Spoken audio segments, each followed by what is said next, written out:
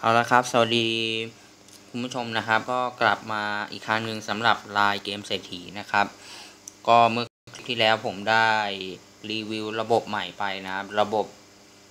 อัญมณีประจำการนั่นเองนะครับ ก็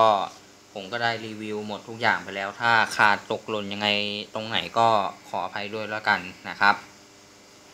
เดี๋ยวคลิปนี้ผมจะมารีวิวตัวละครตัวใหม่กันชื่อว่า ฮารุกะนั่นเองนะครับอขออภัยแป๊บนึงนะครับออยู่สารนุกรมการพิเศษนะครับฮารุกะ JKT 48นะครับ ส่วนลดค่าผ่านทาง 59 นะครับ ชนะเกมโบนัส 58 ค่าใช้จ่ายถูกลง 43 โอกาสทอง 65 ค่าก่อสร้างถูก 71 การควบคุมลูกเต๋า70 แล้วก็ส่วนลดการซื้อต่อ 65 นะครับ แล้วก็มีโบนัสทอง 15% RP โบนัส 10%แล้วก็ขโมย marble 15%นะครับสำหรับ skill นะครับสำหรับจี้เครื่องรางนะครับ เพิ่มการควบคุมลูกเต๋า 46%นะครับ ก็เปอร์เซ็นต์การควบคุมลูกเต๋าก็เยอะพอสมควรนะครับ ความสามารถก็คล้ายๆกับจี้หมวกนักแข่งแถวหน้านะครับ อ่านี่ก็เป็นตัวละคร ฮารุกะนะครับสำหรับวิธีการได้นะครับก็คือ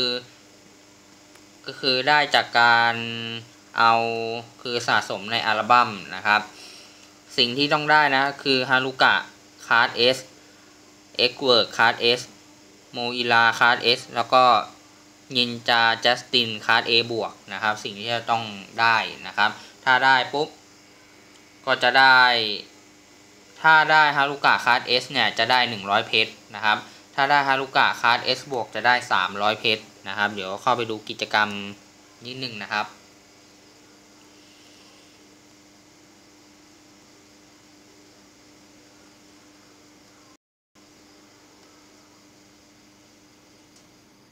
อ่านะครับก็คือถ้าได้ S บวกจะได้ 300 เพชรนั่นเองนะครับ อ่าแล้วครับก็ก็ไม่มีอะไรมากนะครับสำหรับในคลิปนี้ก็มารีวิวตัวละครตัวใหม่กันนะครับแล้วสำหรับเพื่อนๆได้ตัวละครฮารุกะกันหรือเปล่านะก็สามารถแชร์ใต้คลิปล่างนี้ได้เลยนะครับ ก็วันนี้ก็ขอวันเท่านี้ก็แล้วกัน ก็ยังไงก็ขอให้เพื่อนๆสนุกกับเกมเศรษฐีก็แล้วกันพบกันใหม่คลิปหน้า สวัสดีครับ